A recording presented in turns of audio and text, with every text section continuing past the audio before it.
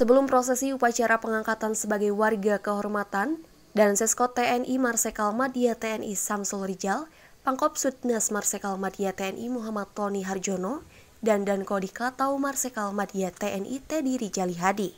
Terlebih dahulu mengikuti rangkaian kegiatan tradisi pengangkatan warga kehormatan Kopasgat di antaranya dengan melewati pos-pos HTF atau How to Fight, di mana pos ini menggambarkan rintangan-rintangan yang dialami para prajurit Kopasgat di medan pertempuran yang sebenarnya. Dilanjutkan upacara pengangkatan sebagai warga kehormatan Kopasgat ditandai dengan penyematan baret jingga, brivet, dan pisau komando Kopasgat oleh dan Kopasgat. Pengangkatan dan pengukuhan sebagai warga kehormatan Kopasgat ini adalah sebagai wujud penghargaan Kopasgat kepada para pati TNI AU atas kontribusi dan perhatiannya yang tulus kepada kemajuan dan perkembangan Kopasgat.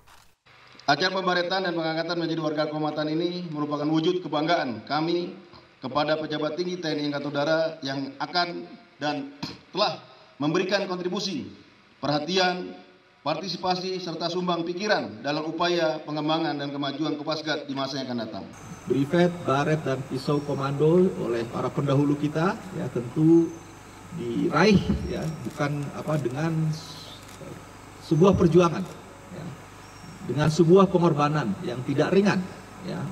Dari Cianjur Jawa Barat, Babi Roska melaporkan.